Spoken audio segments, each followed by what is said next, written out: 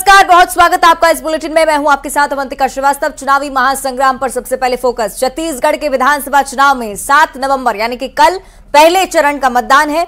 20 सीटों पर मतदान होना और पहले चरण के चुनाव में भाजपा की साख दाव पर लगी हुई है।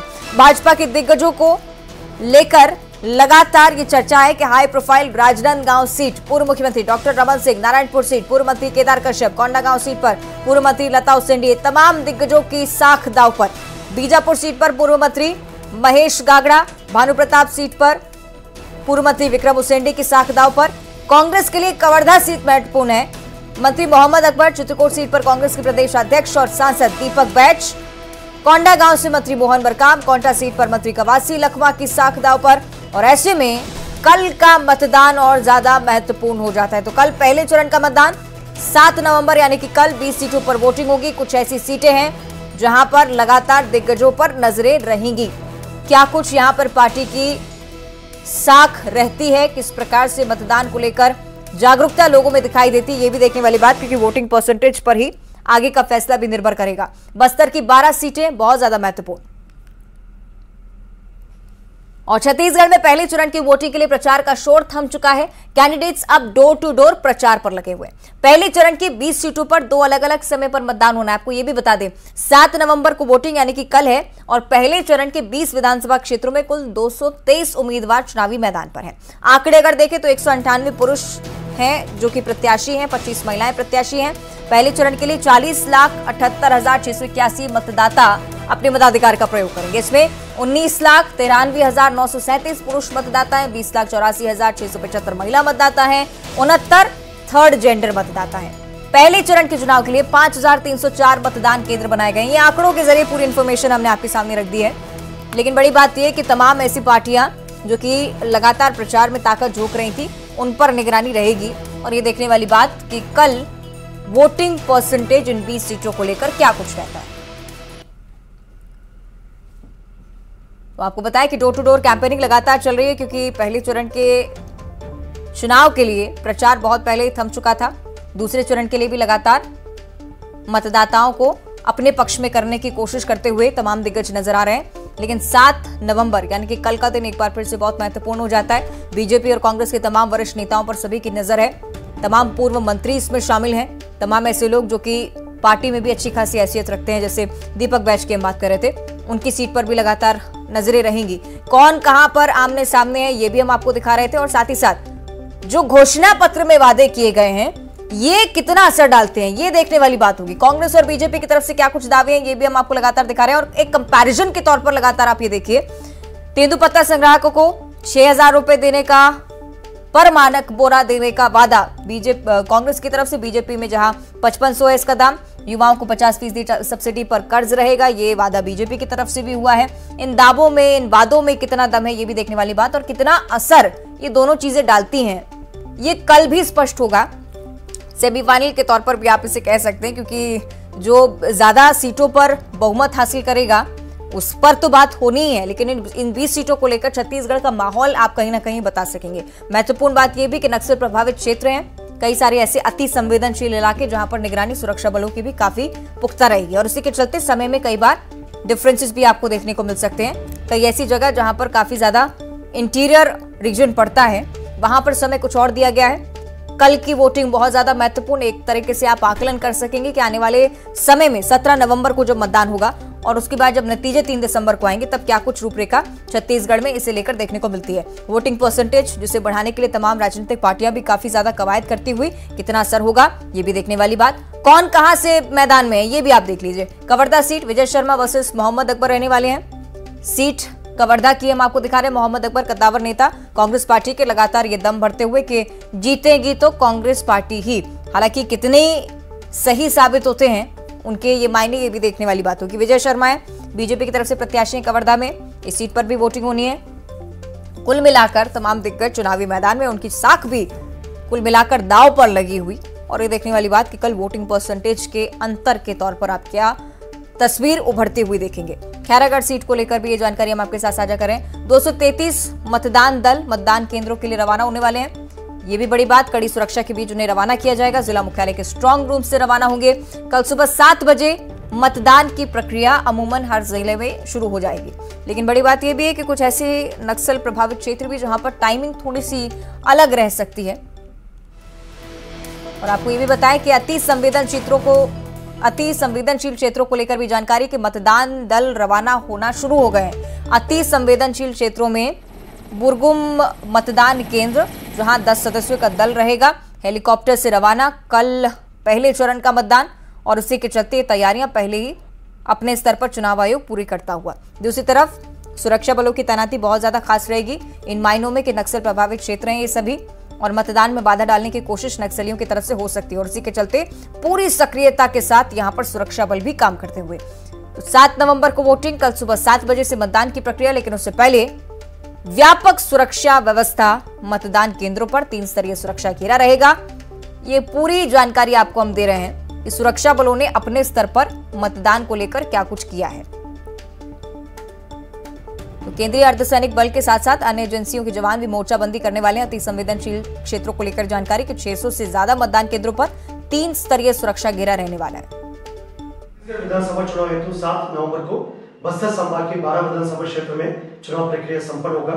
चुनाव कार्रवाई को सुरक्षित एवं व्यवस्थित तरीके से संपादित करने के लिए DRG STF COBRA Bastar fighter CRPF BSF ITBP SSB एवं चुनाव आयोग से आवंटित अन्य सुरक्षा बल तथा सीमावर्ती राज्य के महाराष्ट्र, तेलंगाना उड़ीसा आंध्र प्रदेश के स्पेशल फोर्सेस लेकर बॉर्डर इलाका तथा अंदरूनी क्षेत्र में लगातार नक्सलवादी अभियान संचालित की जा रही है। नक्सल संवेदनशीलता के आधार पर 600 से अधिक मतदान केंद्र में स्पेशल फोर्सेस तथा सीएपीएफ तैनात की जा रही है। अन्य मतदान केंद्र में भी केंद्रीय अर्धसैनिक बल तथा स्थानीय पुलिस बल को तैनात करके चुनाव प्रक्रिया को सुरक्षित तरीके से संपादित करने के लिए सभी इंतज़ाम की गई है। हम क्षेत्र की जनता से अपील करना चाहते हैं, लोकतांत्रिक व्यवस्था को मज़बूत करना हम सबके संयुक्त ज़िम्मेदारी है। इस ज़िम्मेदारी निभाने के लिए अधिक से अधिक संख्या में सात नवंबर को मतदान केंद्र तक पहुँचे और अपना मताधिकार को प्रयोग करें। बस्तर आईजी सुंदरराज पी को, जो कि लगातार ये अपील कर रहे थे कि ज़्यादा से ज़्यादा मतदान में शामिल होने की कोशिश अगर जनता करती है तो इससे बड़ी सफलता सुरक्षा बलों के लिए कुछ नहीं होगी। नक्सल प्रभावित क्षेत्रों को लेकर अगर कहीं ना कहीं डर की स्थिति है तो उसके लिए भी सुरक्षा बल पूरी तरह से तैनात है। का विधानसभा का मतदान होना है। ऐसे में आज मतदान दल जो है अपने अपने मतदान केंद्र जा रहे हैं और इस वक्त मैं स्ट्रॉन्ग रूम के बाहर हूँ और देख सकते हैं कि मेरे साथ इस, इस समय जो है महिला कमांडो है जो शांतिपूर्ण मतदान कराने के लिए वो मतदान केंद्र के लिए जा रहे हैं और इस पहली बार जो है ये महिला कमांडो चुनाव के मैदान में उतरे हैं। हमेशा से ये नक्सलियों से दो दो हाथ करने वाले महिला कमांडो इस बार जो है शांतिपूर्ण चुनाव कराने की तैयारी में महत्वपूर्ण भूमिका निभा रहे हैं। उनसे जानते हैं। मैम आपका नाम क्या? जी मेरा नाम किरण हाँ मैम आपका पहला चुनाव है ड्यूटी है हाँ। अच्छा तो ये आपको नक्सली बहिष्कार चल रहा है इस बीच में आप चुनाव करने जा रहे हैं आप क्या देखते हैं? कैसा लग रहा है? आपको डर लग रहा है कैसा लग रहा है? नहीं। अच्छा। तो ये पहली बार आप चुनाव है तो आपको एक्सपीरियंस इसका है या कैसे? एक्सपीरियंस तो नहीं है जाके वहाँ सीखने का मौका मिलेगा। तो आप कहाँ के रहने वाले? रामा राम अच्छा यहीं के रहने वाले ना? हाँ। जैसा कि बता रहे हैं कि पहली बार इनका ये चुनाव है और ये पहले चुनाव में इनको हालाँकि अनुभव नहीं है लेकिन ये अनुभव इस चुनाव में लेगी। Sati Chandak news eighteen Sukma. चलिए, सीधे आपको हम जगदलपुर लिए चलते हैं, हमारे सहयोगी हमारे साथ जुड़े हुए हैं श्रीनिवास नायडू। श्रीनिवास, जरा एक तस्वीर जरा सामने रख दीजिए दर्शकों की, क्योंकि कल मतदान है। सुरक्षा के लिहाज से भी बताइएगा, और राजनीतिक भूमिका क्या कुछ है यहाँ पर, ये भी समझाइए। जी बिल्कुल, कल मतदान होना है और उसके लिए सभी राजनीतिक दल जो अब जो प्रचार थमने के बाद लगातार डोर टू डोर संपर्क कर रहे हैं राजनीतिक दलों की बात करें तो बीजेपी, कांग्रेस काफ़ी उनके कार्यकर्ता बाकायदा घर घर में पहुँच रहे दस्तक दे रहे लोगों से अपने पक्ष में वोट करने की अपील कर रहे हैं। इधर प्रशासन की बात करें तो प्रशासन कल की तैयारी को लेकर पूरी तरह अलर्ट है। सुरक्षा की बात करो, लगभग छह सौ ऐसे मतदान केंद्रों में तीन लेयरों में सुरक्षा की कमान, एसटीएफ, डीआरजी, सीआरपीएफ, कोबरा और जो बस्तर फाइटर को ज़िम्मेदारी सौंपी गई लिए 35 केंद्रों में महिला कमांडो को जवाबदारी दी गई। पहली बार महिला कमांडो वहाँ पहुँच के चुनाव का का काम करेंगी और सुरक्षा के लिए पुख्ता इंतज़ाम करेंगी। बात करें तो राजनीतिक दलों में जो मुकाबला है इस चित्रकूट विधानसभा में काफ़ी कड़ा मुकाबला माना जा रहा है। चूँकि वहाँ के जो पीसीसी अध्यक्ष दीपक बैज मैदान में उतरे हैं और उनके सामने जो फेस है भाजपा का, वो नया चेहरा है। ऐसे में वहाँ मुकाबला बाकी कड़ा माना जा रहा है। जगदलपुर, बस्तर, ये दो विधानसभा है, जहाँ पर भी कड़ा मुकाबला माना जा रहा है। जगदलपुर का काफ़ी हाई प्रोफ़ाइल सीट है। इसीलिए, और दूसरी बात यह है कि ये एकमात्र बस्तर संभाग का अनारक्षित सीट है, सामान्य सीट है। इसीलिए मुकाबला काफ़ी टक्कर होगा। तो कह सकते हैं कि जो चुनाव को लेकर जहाँ प्रशासन पूरी तरह अलर्ट है और मुस्तैद है तो वहीं राजनीतिक दल के जो कार्यकर्ता, नेता है, प्रत्याशी वो पूरी तरह जनता के द्वार पहुँच चुके हैं और अपने पक्ष में वोट मांगने के लिए अपील कर रहे हैं। अब रही बात सुरक्षा को तो सुरक्षा को देखते हुए अलर्ट मोड में रखा गया ड्रोन से नज़र रख रही है, हेलीकॉप्टर से भी निगरानी रखी जा रही है, बम स्क्वाड बल को अलर्ट मोड में रखा गया ताकि किसी भी अप्रिय घटना बस्तर में ना हो सके। बस्तर आईजी स्वयं खुद लोगों से निर्भीक होकर मतदान करने की अपील किए हैं। जी। निश्चित तौर पर ये एक प्रमुख पहलू रहेगा ही। श्रीनिवास बने रहेगा हमारे साथ। Deputy news editor Abhishek Shukla ji भी फ़ोन लाइन पर जुड़ रहे हैं, उनका भी हम रुक कर लेते हैं। अभिषेक जी राजनीतिक लिहाज से तो कल का दिन बहुत ज़्यादा महत्वपूर्ण होगा ही, लेकिन सुरक्षा के लिहाज से हर प्रदेश ये जानना चाहेगा कि छत्तीसगढ़ कहाँ खड़ा है, क्योंकि नक्सल प्रभावित क्षेत्र यहाँ पर सबसे ज़्यादा और किस प्रकार यहाँ का सुरक्षा बल इसे हैंडल करता है, ये देखने वाली बात। अभिषेक जी। जी, देखिए, ये 20 सीटों पर जो चुनाव होने जा रहा है, बहुत हाई प्रोफ़ाइल सीट है, लगभग 50 परसेंट आधी सीट हाई प्रोफ़ाइल है। क्योंकि कई मंत्री, पूर्व मंत्री यहाँ पर और पूर्व मुख्यमंत्री तक मैदान में है। बस्तर की बात करें तो बस्तर पे जाए कोना है, कोंटा, कवासी, लखमा लगातार वहाँ से विधायक बने हुए हैं और सरकार में फ़िलहाल मंत्री हैं। कड़ा मुकाबला वहाँ पर है। उसके अलावा बीजेपी के पूर्व मंत्री महेश गागड़ा बीजापुर से हैं। केदार कश्यप पूर्व मंत्री बीजेपी के नारायणपुर से हैं। और कर्मा परिवार से, दंतेवाड़ा से छविन कर्मा मैदान में है। तो बहुत कड़ा मुकाबला है। चित्र जैसा कि श्रीनिवास बता भी रहे थे कि दीपक बैज मैदान में है, जो प्रदेश अध्यक्ष हैं, सांसद हैं। तो कड़ा मुकाबला यहाँ पर है और हाई प्रोफ़ाइल सीटों पर चुनाव हो रहा है। और बस्तर पर नज़र इसलिए भी सबकी है, क्योंकि देखिए यहाँ पर एक तरफा वोट पड़ता रहा है। मतलब सिक्सटी फोर्टी का रेशियो हमेशा रहा है। और फ़िलहाल बीजेपी के पास एक भी सीट नहीं है और बीजेपी इसको वापस पाने की कोशिश कर रही है। बस्तर ही ऐसी ऐसा संभाग है जहाँ कहा जाता है कि अगर मतदाताओं को प्रभावित कर लिया जाए तो सत्ता तक पहुँचने का रास्ता बड़ा आसान हो जाता है। तो ये बहुत अहम है। उसके अलावा राजनांदगांव में पूर्व मुख्यमंत्री हेमंत सिंह मैदान में है तो वो सीट हाई प्रोफ़ाइल है, जो अब तक लगातार उनके पास चल रही है। कवर्धा की बात कर लू, मोहम्मद अकबर और विजय शर्मा। मोहम्मद अकबर मंत्री हैं इस वक्त तो वो यहाँ पर मैदान में इस वक्त है। तो बहुत हाई प्रोफ़ाइल है बड़े बड़े चेहरे हैं। और सबसे बड़ी बात जैसा आप बता भी रहे नक्सल प्रभावित इलाका है तो सुरक्षा बलों के लिए भी एक बड़ी चुनौती है। तो सुरक्षा बल भी यहाँ पर मैदान में है और इंटीरियर इलाकों में लगातार सर्चिंग कर रहे हैं। कोशिश है कि मतदान को सफलतापूर्वक करवाया जा सके। तो बहुत सेंसिटिव इलाके भी हैं हम्म। और सुरक्षा बल और कड़ी सुरक्षा के बीच हाई प्रोफ़ाइल चेहरे मैदान में है। हम्म। तो पहले फ़ेज़ में सबकी नज़र है। तो छत्तीसगढ़ नहीं, बल्कि पूरे देश भर की नज़रें इस वक्त बस्तर और पहले चरण की बीस सीटों पर है। चलिए, देखने वाली बात, कल क्या कुछ होता है। बहुत शुक्रिया आपका अभिषेक जी जानकारी के लिए। श्रीनिवास, आपका भी बहुत बहुत शुक्रिया। आगे बढ़ते हुए बात करेंगे दुर्ग से अगली बड़ी खबर की, जहाँ सीएम भूपेश बघेल का आज दुर्ग दौरा होने जा रहा है। सीएम आज भिलाई और दुर्ग दोनों ही जगहों के दौरे पर रहेंगे। दुर्ग शहर में रोड शो उनका होगा। उथरेल में सभा को संबोधित करेंगे और दुर्ग के भिलाई के छावनी में सभा को संबोधित करने वाले हैं। दुर्ग ज़िले को लेकर यह जानकारी दुर्ग प्रमुख क्षेत्र, साथ ही साथ भिलाई। यहाँ पर भी मुख्यमंत्री आज पहुँचेंगे। रोड शो का आयोजन है। चुनावी हुंकार भरने की कोशिश एक बार फिर से छत्तीसगढ़ के मुख्यमंत्री भूपेश बघेल की तरफ़ से कुथरेल में इस बार सभा का आयोजन कर रहे हैं। अब चूँकि घोषणा पत्र भी कांग्रेस का सामने आ चुका है तो आसानी होगी घोषणा करने में। और उन वादों को एक बार फिर से दोहराने में जनता के सामने, जो कि सरकार बनने पर पूरे करने का दावा उनकी तरफ़ से किया जा रहा है।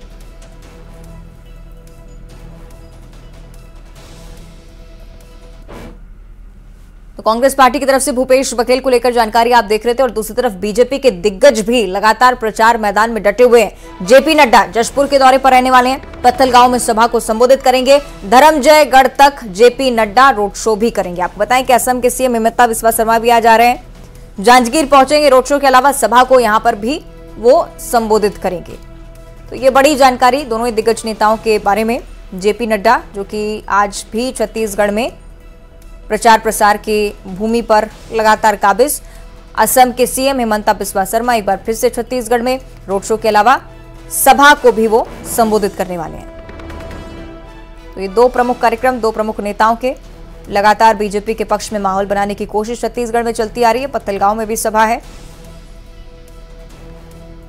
और जांजगीर ज़िले में भी हिमंता बिस्वा शर्मा का रोड शो आज आप देखेंगे।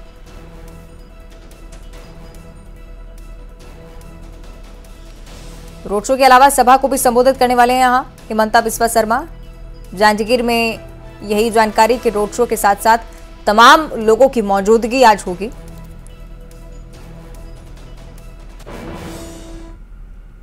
और एक और बड़ी जानकारी केंद्र सरकार के लिहाज से, जिसमें एक बड़ा फैसला सामने आता है, केंद्र सरकार ने प्रवर्तन निदेशालय के आग्रह पर महादेव सट्टेबाजी ऐप पर प्रतिबंध लगा दिया है। इलेक्ट्रॉनिक्स और सूचना प्रौद्योगिकी मंत्रालय ने महादेव बुक और रेड्डी अन्ना प्रिस्टो प्रो ऐप पर बैन लगाया। उसके साथ साथ 22 अलग अलग ऐप्स के नाम इसमें शामिल है। सट्टेबाजी ऐप्स हैं, गेमिंग ऐप्स हैं।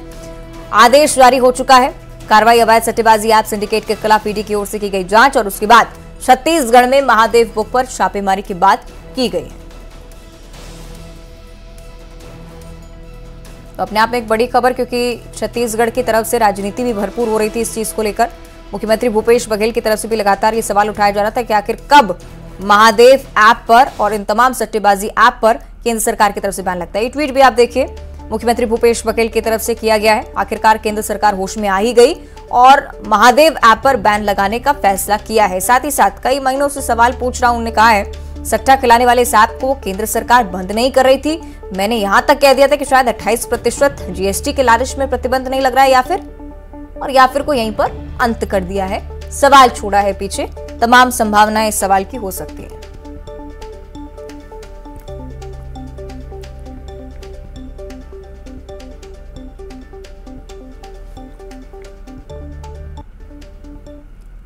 आगे बढ़ते हैं बिलासपुर से अगली बड़ी खबर, जहाँ आरपीएफ ने 13 लाख की चुनावी सामग्री जब्त की है। पार्सल कार्यालय से जब्त की गई चुनावी सामग्री, दो दिनों में स्टेशन से सात लाख तिरानवे हज़ार कैश भी मिल चुका है। अपने आप में बहुत बड़ी रकम है। चौबीस लाख पंचानवे हज़ार का सोना चांदी भी मिला है। तो लगातार पुलिस की सक्रियता के चलते ये सफलता। आंकड़े पिछली बार के चुनाव से कई ज़्यादा हैं। तेरह लाख की चुनावी सामग्री एक बार फिर से मिली है। बड़े स्तर पर चुनावों को प्रभावित करने की कोशिश छत्तीसगढ़ में चल रही थी। ये बातें लगातार ये स्पष्ट होती हैं कार्रवाई के ज़रिए। पार्सल कार्यालय से जब्त की गई है चुनावी सामग्री। सोना चांदी भी जब्त हो चुका है, कैश भी जब्त हुआ है। बहुत लंबे समय से कार्रवाई चलती आ रही है। आचार संहिता के चलते। और बलरामपुर के रामचंद्रपुर वन परिक्षेत्र में एक बार फिर से 35 हाथियों का दल पहुँच गया, लगातार उत्पात मचा रहा है। हाथी खेतों में लगी खड़ी फ़सल को रौंद कर बर्बाद कर रहे हैं। ग्रामीण पटाखे के सहारे हाथियों को भगाने की भी कोशिश कर रहे हैं।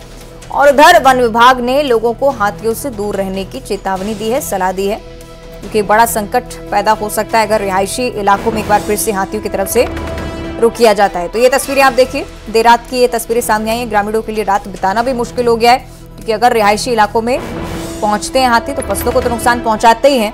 मकानों को क्षतिग्रस्त करते हैं, लोगों को भी नुकसान पहुँचता है। ये तस्वीरें ये भी बयां करती हुई कि किसी न किसी प्रकार से हाथियों को दूर रखने की कोशिश लगातार चल रही है। पटाखे जलाकर ये प्रयत्न के हाथी रहवासी क्षेत्रों की ओर ना आए, ये तस्वीरें आप देखिए।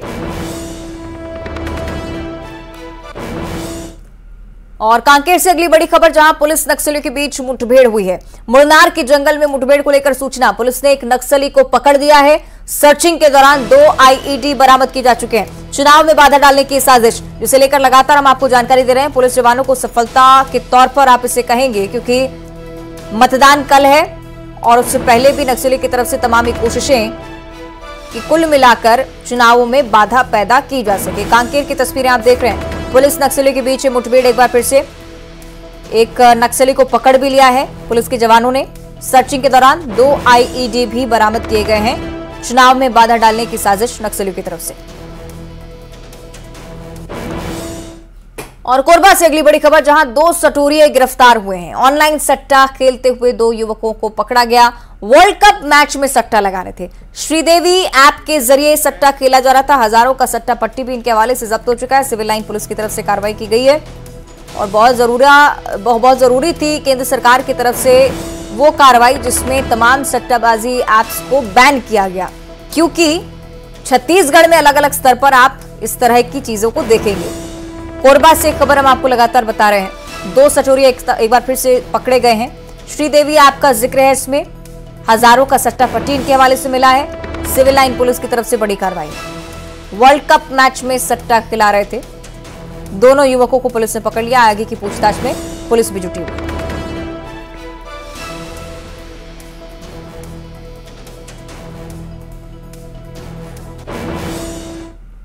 और इसी के साथ बुलेटिन में फ़िलहाल इतना ही। देखते रहिए न्यूज़ एटीन।